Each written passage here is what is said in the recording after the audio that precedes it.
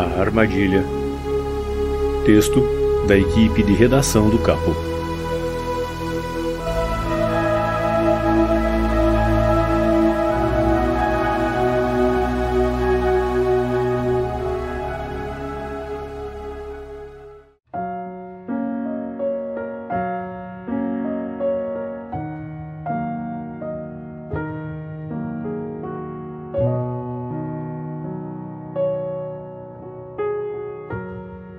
Quando nos prendemos ao ter, nos distanciamos de nossa essência, da nossa própria intelectualidade.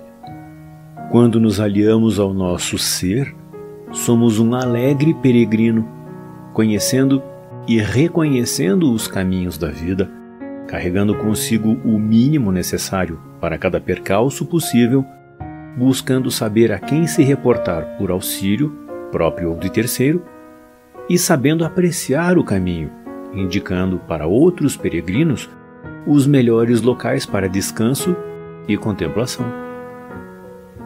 Quando somos, saímos de nosso escafandro carnal para ser consciência livre, para escolher a quem nos aliar e quais aquisições temporárias precisamos enfrentar para cada caminhada ou descanso, para aprender e ensinar.